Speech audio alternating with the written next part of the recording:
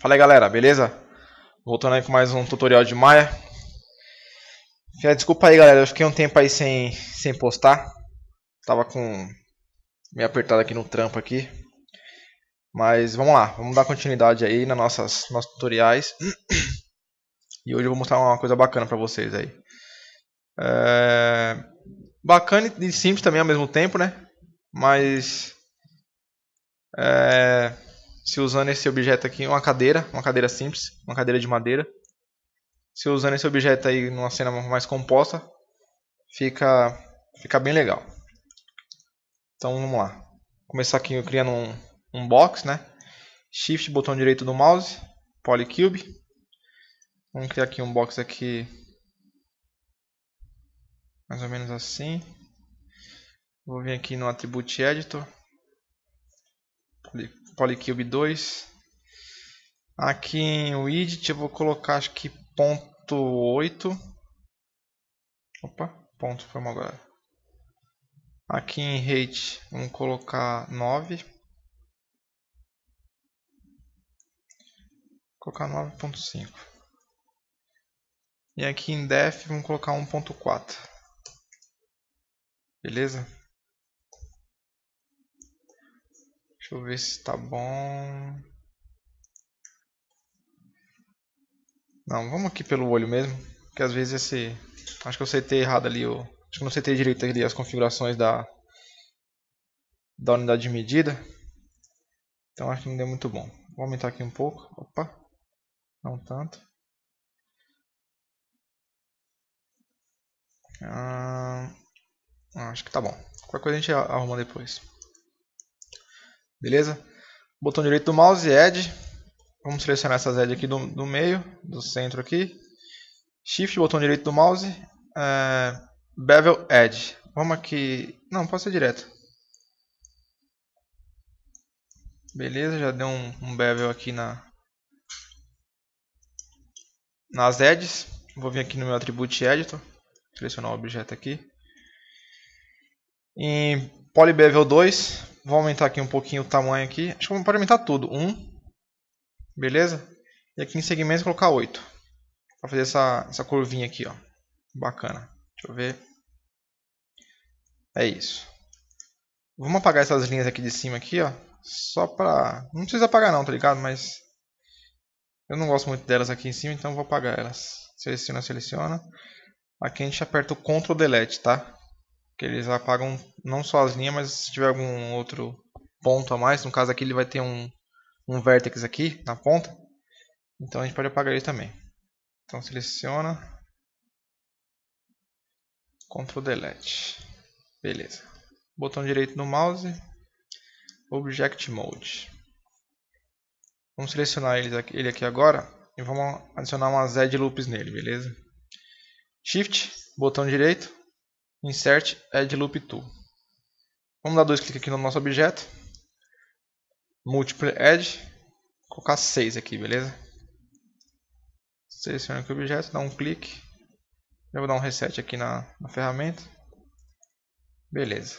Já temos ali as nossas edges inseridas. Vou voltar aqui para o objeto.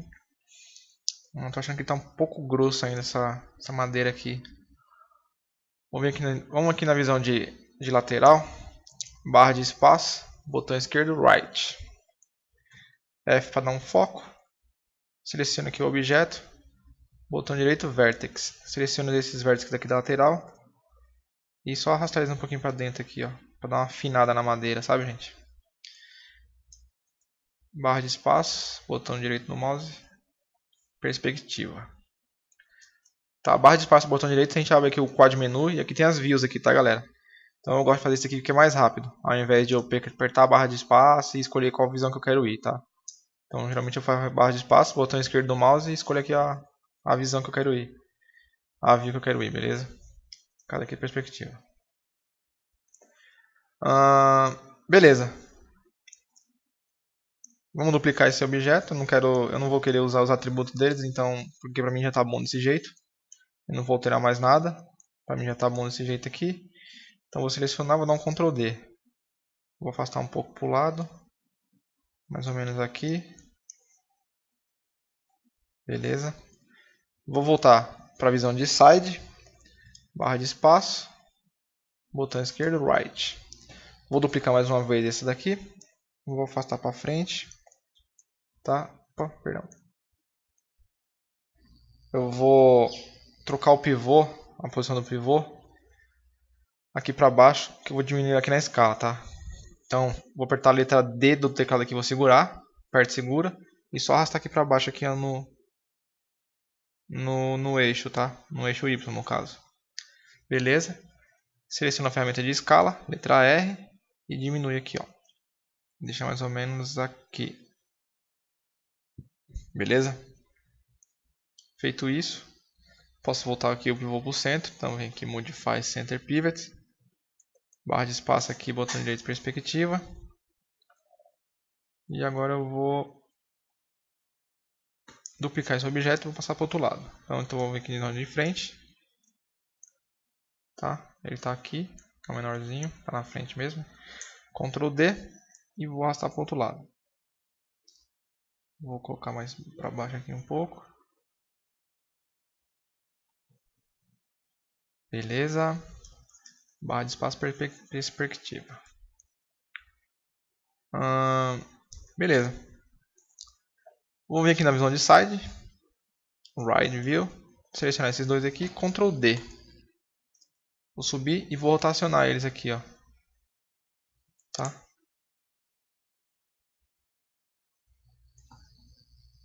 Vou colocar eles aqui. Você pode ver que ficou um pouquinho menor. Então eu vou ajustar eles aqui e vou dar um, uma escala neles para eles só entrarem na madeira aqui, tá gente? Que no caso seria o apoio aqui para sentar. Então barra de espaço, botão esquerdo do mouse de perspectiva. Tá aí. Aqui a gente já pode pegar esses dois aqui duplicar novamente aqui. Ctrl D. E jogar daqui um pouco para baixo perspectiva. Beleza.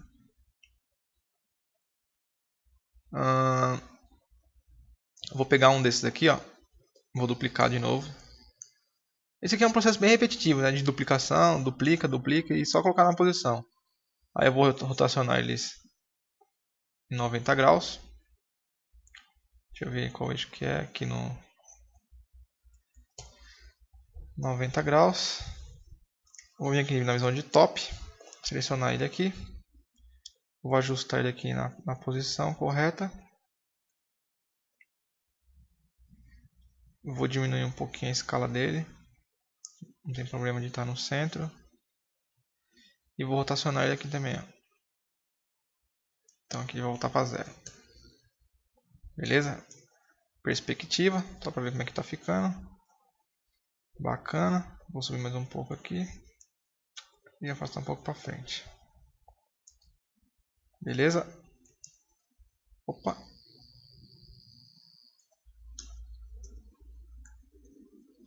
Só vou rotacionar mais um pouco aqui.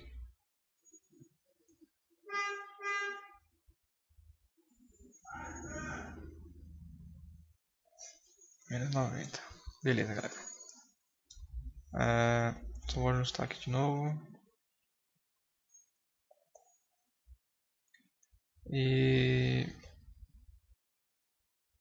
selecionar esse objeto aqui, Ctrl D, vou vir aqui na visão de top e vou fazer um pouco para trás.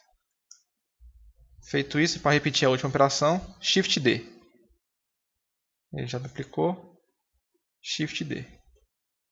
Beleza, perspectiva. O apoio já está praticamente pronto. Tá, galerinha, só um minutinho, por favor. Já volto. Bom, desculpa aí galera, tive que dar uma saidinha aqui rapidinho. É, beleza.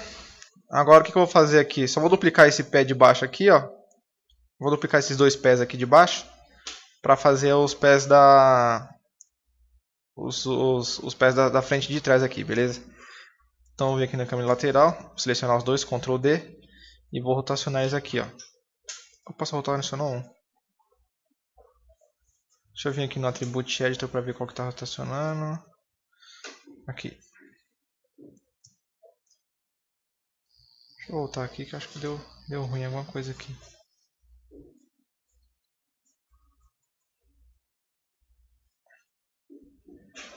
Aqui, 90.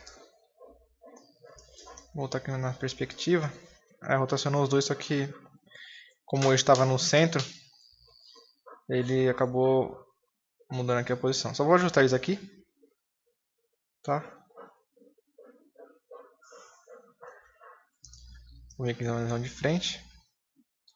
Vou ajustar aqui. Diminuir um pouquinho na escala. Apertar o 4 aqui para deixar no wireframe. Vou colocar aqui.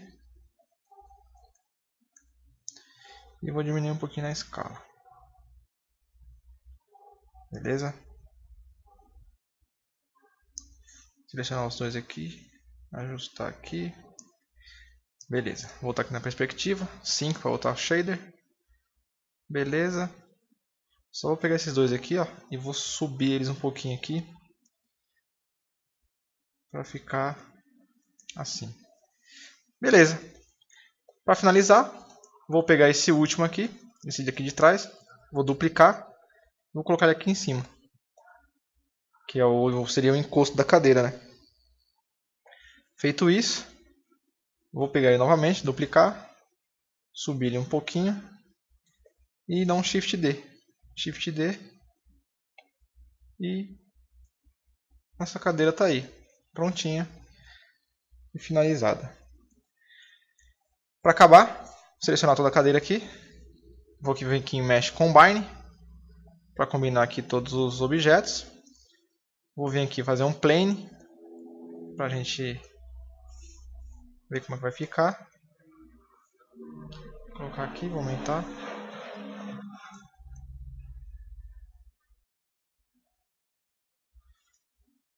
Eu vou aplicar um material aqui nesse plane, botão direito, Assign a New Material.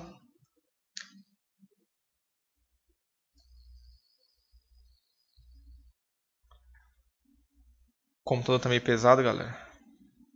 E cansar já essa máquina aqui.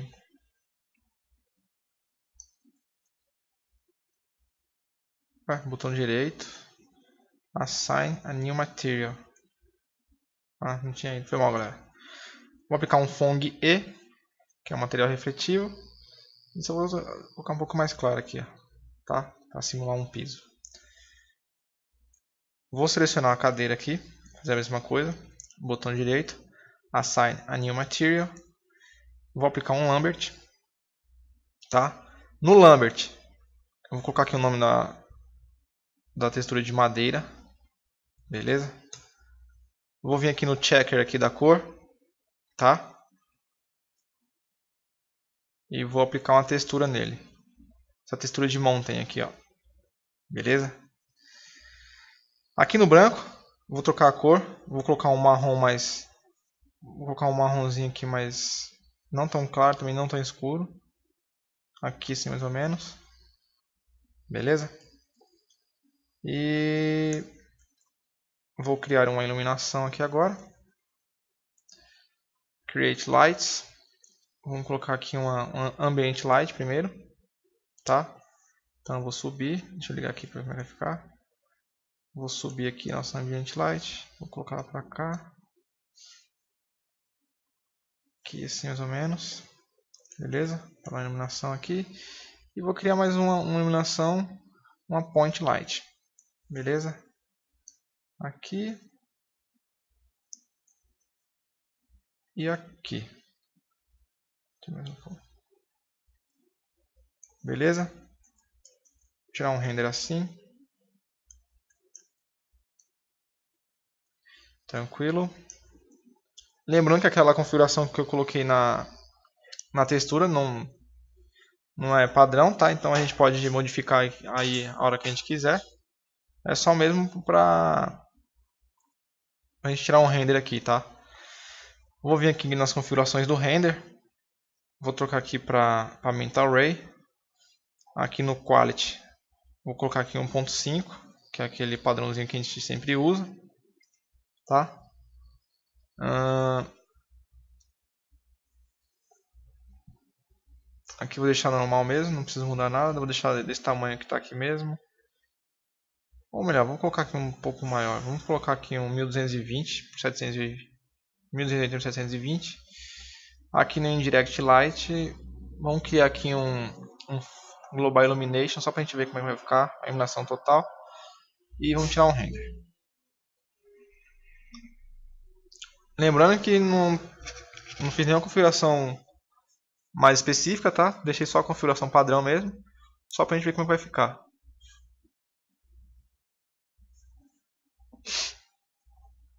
Uma cadeirinha de madeira aí.